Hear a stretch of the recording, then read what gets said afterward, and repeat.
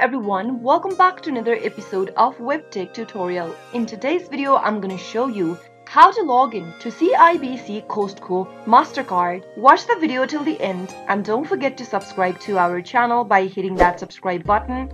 Press the notification bell so that you'll never miss another upcoming upload from us. In order to log into your CIBC Costco MasterCard account, go ahead and open up a web browser. In the URL box at the top, Type in www.cibc.com and press enter on your keyboard. From the official site, click on the credit cards tab and now click the sign on link at the top right. If you've not set up an online banking access to your CIBC Costco MasterCard, you'll need to do that first. Simply go ahead and click on the register link in order to sign up first and then you'll be able to see that you can easily sign in with your card number and then your password. Enter your card number in the first text box associated with your CIBC Costco MasterCard and if you'd like this card to be remembered by this device, check this little box. Now type in your password on the next field. If you don't remember your password, click on reset my password. Finally, after filling in all of the information, click on the sign on button in order to log into your CIBC Costco MasterCard. That is how it can be done. The CIBC Costco MasterCard is a credit card that is designed for the Costco members